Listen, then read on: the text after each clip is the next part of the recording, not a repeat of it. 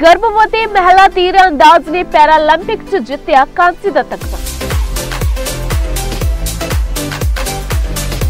ਤੀਰ ਅੰਦਾਜ਼ ਨੇ ਮੈਡਲ ਜਿੱਤ ਕੇ ਰਚਿਆ ਇਤਿਹਾਸ। ਗਰਭ ਅਵਸਥਾ ਦੌਰਾਨ ਤਗਮਾ ਜਿੱਤਣ ਵਾਲੀ ਬਣੀ ਪਹਿਲੀ ਪੈਰਾਲੰਪਿਕ ਐਥਲੀਟ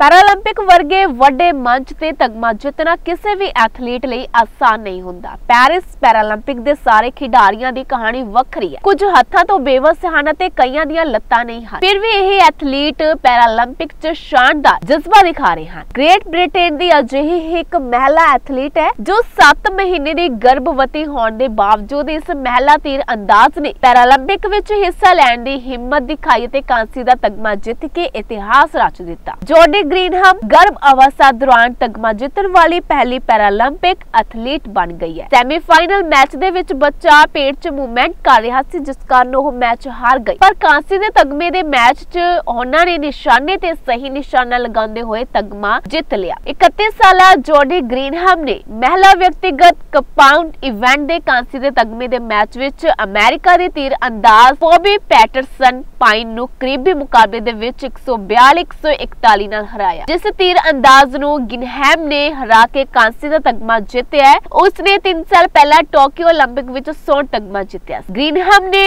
ਪੈਰਾਲੰਪਿਕ 'ਚ ਦੂਜੇ ਤਗਮੇ ਦੀ ਵੀ ਉਮੀਦ ਜਤਾਈ ਹੈ ਉਹ ਹੁਣੇ ਹੀ ਮਿਕਸ ਟੀਮ ਕੰਪਾਊਂਡ ਇਵੈਂਟ ਦੇ ਕੁਆਰਟਰ ਫਾਈਨਲ ਦੇ ਵਿੱਚ ਪਹੁੰਚੀ ਹੈ ਇਸ ਇਵੈਂਟ ਦੇ ਵਿੱਚ ਉਸ ਦਾ ਸਾਥੀ ਨਾਥਨ ਮੈਕੁਇਨ ਹੋਵੇਗਾ। 28 ਹਫ਼ਤਿਆਂ ਦੀ ਗਰਭਵਤੀ ਹੋਣ ਦੇ ਬਾਵਜੂਦ ਗ੍ਰੀਨਹੈਮ ਨੇ ਪੈਰਾਲੰਪਿਕ ਦੇ ਵਿੱਚ ਤਗਮਾ ਜਿੱਤਣ ਤੋਂ ਬਾਅਦ ਕਿਹਾ ਕਿ ਮੈਨੂੰ ਆਪਣੇ ਆਪ ਤੇ ਬਹੁਤ ਮਾਣ ਮਹਿਸੂਸ ਹੋ ਰਿਹਾ। ਮੇਰੇ ਕੋਲ ਮੁਸ਼ਕਿਲਾਂ ਬਹੁਤ ਸਾਰੀਆਂ ਆਈਆਂ ਹਨ, ਪਰ ਇਹ ਆਸਾਨ ਨਹੀਂ ਸੀ। ਪਰ ਮੈਂ ਤੰਦਰੁਸਤ ਹਾਂ ਅਤੇ ਮੇਰਾ ਬੱਚਾ ਵੀ ਤੰਦਰੁਸਤ ਹੈ। ਮੈਨੂੰ ਪਤਾ ਸੀ ਕਿ ਮੈਂ ਮੁਕਾਬਲਾ ਕਰ ਸਕਦੀ ਹਾਂ, ਮੈਨੂੰ ਪਤਾ ਸੀ ਕਿ ਮੈਂ ਚੰਗਾ ਵੀ ਕਰ ਸਕਦੀ ਹਾਂ।